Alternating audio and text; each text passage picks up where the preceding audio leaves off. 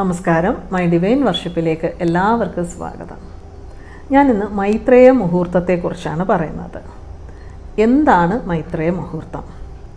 നമ്മൾ എന്താണ് ഈ മൈത്രേയ മുഹൂർത്തത്തിൽ ചെയ്യേണ്ടത്? എങ്ങനെയാണ് ഈ മൈത്രേയ മുഹൂർത്തം കാൽക്കുലേറ്റ് ചെയ്യുന്നത്? അതുപോലെ തന്നെ മൈത്രേയ മുഹൂർത്തത്തിൽ ആ നമ്മൾ ചെയ്യുന്ന കാര്യം സക്സസ് ആവുന്നതിന് വേണ്ടി നമ്മൾ ഏത് ദൈവങ്ങളെയാണ് പ്രാർത്ഥിക്കേണ്ടത്? ഇനി ഈ രണ്ടായിരത്തി ഇരുപത്തിരണ്ടിൽ ഹൺഡ്രഡ് പേഴ്സന്റ് ഇഫക്റ്റീവ് ആയിട്ടുള്ള മൈത്രേയ മുഹൂർത്തം ഉണ്ടോ? ഉണ്ടെങ്കിൽ അതെന്നാണ്. ഈ അഞ്ച് കാര്യങ്ങളാണ് ഞാൻ ഇന്നിവിടെ പറയുന്നത്. ആദ്യം മൈത്രേയ മുഹൂർത്തം എന്താണ്? നമ്മൾ ബ്രഹ്മമുഹൂർത്തം എന്ന് കേട്ടിട്ടുണ്ട് അഭിജിത് മുഹൂർത്തം എന്ന് കേട്ടിട്ടുണ്ട് അങ്ങനെ പല മുഹൂർത്തങ്ങളുണ്ട്. ബ്രഹ്മമുഹൂർത്തം എന്ന് പറയുന്നത് എല്ലാ ദിവസവും രാവിലെ സൂര്യോദയത്തിന് മുൻപുള്ള നാൽപ്പത്തെട്ട് നിമിഷത്തെയാണ് നമ്മൾ ബ്രഹ്മമുഹൂർത്തം എന്ന് പറയുന്നത്. അതുപോലെ അഭിജിത് മുഹൂർത്തവും എല്ലാ ദിവസവും പന്ത്രണ്ട് മണി സമയത്തുള്ള ഒരു മുഹൂർത്തമാണ്. ഇതെല്ലാം എല്ലാ ദിവസങ്ങളിലും വരുന്ന മുഹൂർത്തങ്ങളാണ്.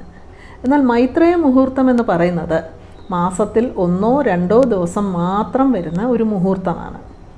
ഈ മൈത്രേയ മുഹൂർത്തത്തിന്റെ ഏറ്റവും ജ്യോതിഷപ്രകാരം മൈത്രേയ മുഹൂർത്തം എന്ന് പറയുന്നത് നമ്മൾ എന്ത് ആരുടെയെങ്കിലും കയ്യിൽ നിന്ന് കടങ്ങൾ വാങ്ങിയിട്ടുണ്ടെങ്കിൽ അപ്പോൾ ഇപ്പോൾ കടങ്ങൾ വാങ്ങാത്ത മനുഷ്യരില്ല. അപ്പോൾ ആ കടങ്ങൾ നമ്മൾ തിരിച്ചു കൊടുക്കുന്നത്. അതായത് റീപേ ചെയ്യുന്നത്. നമ്മളിപ്പോൾ ഇ എം എ ആയിട്ടായിരിക്കാം കിട്ടുന്നത്. അങ്ങനെ എങ്ങനെയാണെങ്കിലും ആ നമ്മൾ തിരിച്ചു കൊടുക്കുമ്പോൾ ഈ മൈത്രേയ മുഹൂർത്ത സമയത്ത് നമ്മൾ ആ പൈസ തിരിച്ചു കൊടുക്കുകയാണെങ്കിൽ അത് മൊത്തത്തിലല്ല കുറച്ച് കുറച്ചായിട്ടായിരിക്കുമല്ലോ നമ്മൾ കൊടുക്കുന്നത്.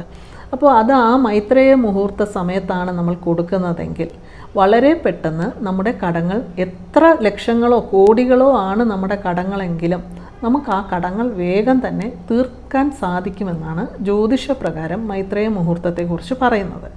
ഇനി രണ്ടാമത്തേത് നമ്മൾ മൈത്രേയ മുഹൂർത്തത്തിൽ എന്താണ് ചെയ്യേണ്ടത്? ഞാനിപ്പം പറഞ്ഞുവല്ലോ കടം അടച്ചു തീർക്കുന്നതിന് വേണ്ടിയുള്ള ഒരു മുഹൂർത്തം. അതായത് നമ്മൾ ഇ എം ഐ കെട്ടുമ്പോൾ കുറച്ച് കുറച്ച് പൈസയാണ് നമ്മൾ കെട്ടുന്നത്. നമ്മൾ ആ പൈസ നമുക്ക് മൈത്രേയ മുഹൂർത്തത്തിൽ അടയ്ക്കാവുന്നതാണ്. ഇനിയിപ്പോൾ കുറച്ച് വലിയൊരു എമൗണ്ടാണ് നമുക്ക് പക്ഷേ അടയ്ക്കാനുള്ള ഒരു അപ്പോൾ ആ ഒരു സാമ്പത്തികം ഇല്ല എങ്കിൽ നമുക്കൊരു കവർ എടുത്ത് ആ കവറിൽ ഈ സമയത്ത് ഏതൊരു ബാങ്കിലേക്കാണോ അല്ലെങ്കിൽ ഏതെങ്കിലും ഒരാളുടെ കയ്യിൽ നിന്നാണോ നമ്മൾ വാങ്ങിച്ചിട്ടുള്ളത് അയാളുടെ പേര് ആ കവറിന്റെ പുറത്ത് എഴുതിയിട്ട് നമുക്കപ്പോൾ നമ്മുടെ കയ്യിൽ എന്തുണ്ട്? നൂറ് രൂപയോ ഇരുന്നൂറ് രൂപയോ? എന്താണുള്ളത്? ആ തുക നമ്മൾ ആ കവറിലിട്ട് വെക്കുക. അത് ഇടുമ്പോൾ അത് മൈത്രേയ മുഹൂർത്ത സമയത്ത് തന്നെ ആയിരിക്കണം ഇടേണ്ടത്. അതായത് ഇപ്പോൾ ഒരു ദിവസം എട്ട് മണി മുതൽ പത്ത് മണി വരെയാണ് മൈത്രേയ മുഹൂർത്തമെങ്കിൽ അതിന്റെ നടുഭാഗം അതായത് ഒൻപത് മണിക്ക് നമ്മൾ ഒരു കവറെല്ലാം നമ്മൾ നേരത്തെ റെഡിയാക്കി വെക്കണം. പക്ഷേ കവറിൽ പേരൊന്നും എഴുതരുത്. ഈ ഒൻപത് മണി സമയമാകുമ്പോൾ ആ കവറെടുത്ത് ആ കവറിന് മുകളിൽ ഏത് ബാങ്കിലേക്കാണെങ്കിൽ ഏത് ബാങ്കാണെന്ന് ആ ബാങ്കിന്റെ പേര്. ഇല്ല ഹൗസ് ലോൺ ആണെങ്കിൽ ഹൗസ് ലോൺ. അങ്ങനെ അത് എഴുതുക. ഇപ്പോൾ ഒരാളുടെ ഒരു വ്യക്തിയുടെ കയ്യിൽ നിന്ന് വാങ്ങിയ പൈസയാണെങ്കിൽ അയാളുടെ പേര് എഴുതുക. എന്നിട്ട് നമ്മുടെ കുലദൈവത്തിനെ ഏത് ഏതൊരു കാര്യം നമുക്ക് സക്സസ് ആവണമെങ്കിലും നമ്മൾ നമ്മുടെ കുലദൈവത്തിനോട് പ്രാർത്ഥിക്കണമെന്നാണ്. അപ്പോൾ കുലദൈവത്തിന് പ്രാർത്ഥിച്ചിട്ട് ആ പൈസ നമ്മൾ ആ കവറിനകത്താക്കി വെക്കണം. അതിനോടൊപ്പം നമുക്ക് വേണമെങ്കിൽ നമുക്കൊരു ചെറിയ പീസ് പച്ചക്കർപ്പൂരം നമ്മുടെ വീട്ടിലുണ്ടെങ്കിൽ വലിയ നിർബന്ധമൊന്നുമില്ല. ഉണ്ടെങ്കിൽ ഒരു പച്ചക്കർപ്പൂരം നമുക്ക് ആ കവറിനകത്ത് വെക്കാം. പച്ചക്കർപ്പൂരം വെക്കുന്നത് എന്തിനാണെന്ന് പറഞ്ഞാൽ പച്ചക്കർപ്പൂരത്തിന് വളരെയധികം ദൈവീകതയുണ്ട് എന്നാണ്. വളരെയധികം പോസിറ്റിവിറ്റി സോ അതിന് അതുകൊണ്ടാണ് നമ്മൾ ആ പച്ചക്കർപ്പൂരം വെക്കുന്നത്. ഇനിയിപ്പോൾ വീട്ടിൽ പച്ചക്കർപ്പൂരം ഇല്ലെങ്കിൽ വിഷമിക്കാനൊന്നുമില്ല. കവറിനകത്ത് നല്ലതുപോലെ പ്രാർത്ഥിച്ച് അത് വെച്ചാൽ മാത്രം മതി. ഇനി നമ്മൾ ആ കടം മുഴുവനായി വീട്ടിൽ കഴിഞ്ഞു എന്ന് വെച്ചോളൂ. അപ്പോൾ ഈ കവറിനകത്തിരിക്കുന്ന പൈസ അവിടെ തന്നെ ഇരിക്കുമായിരിക്കും കാരണം വലിയൊരു തുകയായിരിക്കുമല്ലോ നമ്മൾ കൊടുക്കുന്നത്. നൂറ് രൂപയായിട്ട് ഇരുന്നൂറ് രൂപയായിട്ട് കൊടുക്കാൻ സാധിക്കില്ല കടം വീട്ടുമ്പോൾ അപ്പോൾ ഈ കവറിനകത്ത് വെച്ച പൈസ നമ്മൾ എന്താണ് ചെയ്യേണ്ടതെന്ന് വെച്ചാൽ അടുത്ത കുലദൈവ ക്ഷേത്രത്തിൽ പോകാൻ സാധിക്കുന്നവരാണെങ്കിൽ അവിടുത്തെ കാണിക്ക വഞ്ചിയുണ്ടല്ലോ ഹുണ്ടി അതിനകത്ത് കൊണ്ട് അതിൽ ഇടാം ആ പൈസ. അല്ലെങ്കിൽ നമുക്ക് അന്നദാനം നടത്തുന്നതിന് വേണ്ടി ആർക്കെങ്കിലും ഭക്ഷണം വാങ്ങി കൊടുക്കുന്നതിന് വേണ്ടി നമുക്ക് ആ പൈസ ഉപയോഗിക്കാം. ഒരിക്കലും നമ്മൾ നമ്മുടെ ആവശ്യങ്ങൾക്ക് വേണ്ടി ആ പൈസ ഒരിക്കലും ഉപയോഗിക്കാൻ പാടില്ല എന്നാണ്. കാരണം നമ്മളത് എന്തിനു വേണ്ടിയാണ് വെച്ചത്? നമ്മൾ കടം അടച്ചു തീർക്കാൻ വേണ്ടി മറ്റൊരാൾക്ക് കൊടുക്കാൻ വേണ്ടിയിട്ട് വെച്ച പൈസയാണ്. അതൊരിക്കലും നമ്മൾ നമ്മുടെ ആവശ്യത്തിന് വേണ്ടി നമുക്ക് വസ്ത്രം വാങ്ങാനോ അങ്ങനെ നമ്മുടെ ഒരു ആവശ്യത്തിന് വേണ്ടി നമ്മൾ ആ പൈസ എടുക്കരുത്. അത് നമ്മൾ ദൈവത്തിന് സമർപ്പിക്കുകയോ അല്ലെങ്കിൽ മറ്റുള്ളവർക്ക് ഭക്ഷണം വാങ്ങി കൊടുക്കാൻ വേണ്ടി സമർപ്പിക്കുകയോ ചെയ്യണമെന്നാണ്. ഇനി മൂന്നാമത്തേത് എങ്ങനെയാണ് മൈത്രേയ മുഹൂർത്തം കാൽക്കുലേറ്റ് ചെയ്യുന്നത് എന്നുള്ളതാണ്. മൈത്രേയ മുഹൂർത്തം എന്ന് പറയുന്നത് അതെങ്ങനെയാണ് കാൽക്കുലേറ്റ് ചെയ്തതെന്ന് പറഞ്ഞാൽ ചൊവ്വാഴ്ച ദിവസം അശ്വതി നക്ഷത്രവും മേടം രാശിയും കൂടി ചേർന്ന് വന്നാൽ ഈ മൂന്നും കൂടി ചേർന്ന് വന്നാൽ ആ സമയമാണ് മൈത്രേയ മുഹൂർത്തം. ഇത് വളരെ ഒരു മണിക്കൂറോ രണ്ട് മണിക്കൂറോ മാത്രമേ കാണൂ. എല്ലാ മാസവും ഇത് വരണമെന്നുമില്ല കറക്റ്റായിട്ട് ഇത് മൂന്നും കൂടി വരുന്നത് ചിലപ്പോൾ വർഷത്തിൽ ഒന്നോ രണ്ടോ പ്രാവശ്യം മാത്രമായിരിക്കും. ഇതുകൂടാതെ ചൊവ്വാഴ്ച ദിവസം തന്നെ അനിഴം നക്ഷത്രവും വൃശ്ചിക രാശിയും ചേർന്ന് വന്നാലും മൈത്രേയ മുഹൂർത്തമാണ്. അങ്ങനെ ഇത് രണ്ട് എണ്ണമാണ് മൈത്രേയ മുഹൂർത്തം. ഈ സമയം എന്ന് പറയുന്നത് ഹൺഡ്രഡ് പേഴ്സന്റ് ഇഫക്റ്റീവ് ആയിട്ടുള്ളൊരു സമയമാണ്. ഇനിയിപ്പോൾ ഇത് മൂന്നും ഒന്നിച്ചു വന്നില്ല. ഇതിൽ രണ്ട് കാര്യങ്ങൾ മാത്രം ഒന്നിച്ചു വന്നു അതായത് ചൊവ്വാഴ്ചയും അശ്വതി നക്ഷത്രവും അല്ലെങ്കിൽ അശ്വതി നക്ഷത്രവും മേടം രാശിയും അങ്ങനെ അനിരം നക്ഷത്രവും വൃശ്ചിക രാശിയും അങ്ങനെ രണ്ട് കാര്യങ്ങൾ മാത്രം ഒന്നിച്ചു വന്നു എന്ന് വെച്ചാൽ സെവന്റി ഫൈവ് പെർസെന്റ് ആ സമയമെന്നാണ് അർത്ഥം. അതുകൂടാതെ അസ്ട്രോളജേഴ്സ് വേറെയും ടൈമുകൾ പറഞ്ഞിട്ടുണ്ട് മൈത്രേയ മുഹൂർത്തമായിട്ട്. അതെല്ലാം അതിനേക്കാൾ കുറച്ച് കുറച്ച് ഇഫക്റ്റ് കുറവായിരിക്കുമെന്നേ ഉള്ളൂ. എന്ന് കരുതി നമ്മൾ ആ സമയത്ത് പൈസ എടുത്ത് വെക്കണ്ട എന്നല്ല വെക്കാം. നമുക്ക് എപ്പോഴാണ് നമ്മളെ ഭാഗ്യദേവത നമ്മളെ കടാക്ഷിക്കുന്നതെന്ന് പറയാനൊക്കില്ല. അതുകൊണ്ട് നമുക്ക് എല്ലാ മൈത്രേയ മുഹൂർത്ത സമയത്തും നമുക്കാവുന്ന ഒരു തുക നമുക്ക് എടുത്ത് വെക്കാവുന്നതാണ്. അല്ലെങ്കിൽ ആ സമയത്ത് കടങ്ങൾ വീട്ടാവുന്നതാണ്.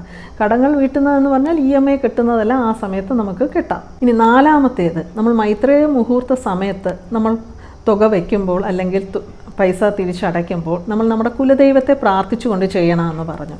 ഇതുകൂടാതെ നമ്മൾ മറ്റ് ഏത് ദൈവങ്ങളെയാണ് പ്രാർത്ഥിക്കേണ്ടതെന്ന് വെച്ചാൽ നമ്മൾ ഗണപതി ഭഗവാനെയും അതുപോലെ തന്നെ മുരുകനെയുമാണ് നമ്മൾ ഈ സമയം പ്രാർത്ഥിക്കേണ്ടത്. എന്തുകൊണ്ടാണെന്ന് പറഞ്ഞാൽ അശ്വതി നക്ഷത്രം അശ്വതി നക്ഷത്രത്തിന്റെ ഗ്രഹമെന്ന് പറയുന്നത് കേതുവാണ്.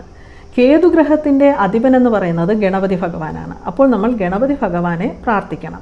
എങ്ങനെയാണ് ഈ ഒരു കാര്യത്തിന് ഗണപതി ഭഗവാനെ പ്രാർത്ഥിക്കേണ്ടത്? ഞായറാഴ്ച ദിവസം ഗണപതി ക്ഷേത്രത്തിൽ പോയി ഭഗവാന് കറുകമാല ചാർത്തിയാണ് പ്രാർത്ഥിക്കേണ്ടത്.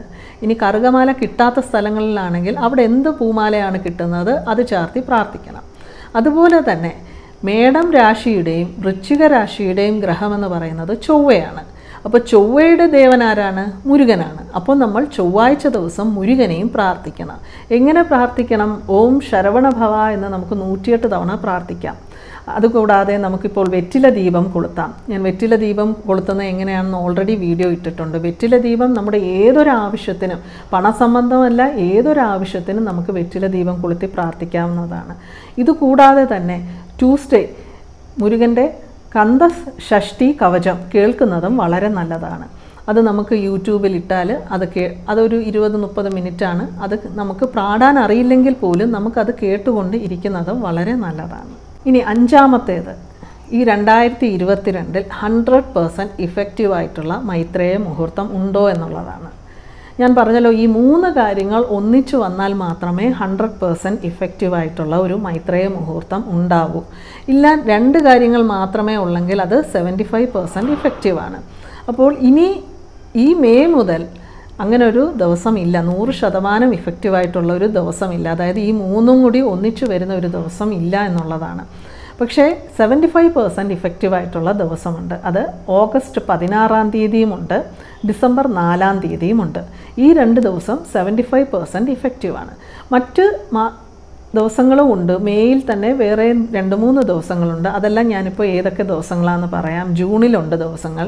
പക്ഷേ അതെല്ലാം ഇത്രയധികം ഇഫക്റ്റീവ് അല്ലെങ്കിലും ഞാൻ ആദ്യം പറഞ്ഞല്ലോ എപ്പോഴാണ് നമുക്ക് ലക്ക് വരുന്നതെന്ന് പറയാനൊക്കില്ല.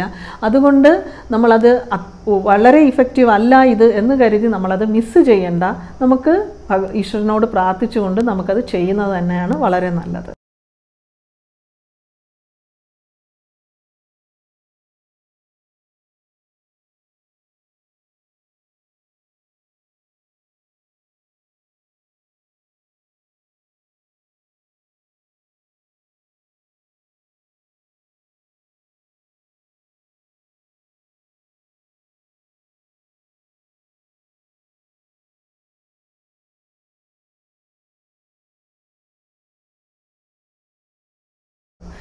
എല്ലാവർക്കും ഈ വീഡിയോ ഇഷ്ടപ്പെട്ടു എന്ന് വിശ്വസിക്കുന്നു. വീണ്ടും മറ്റൊരു വീഡിയോയുമായി കാണാം. നന്ദി നമസ്കാരം.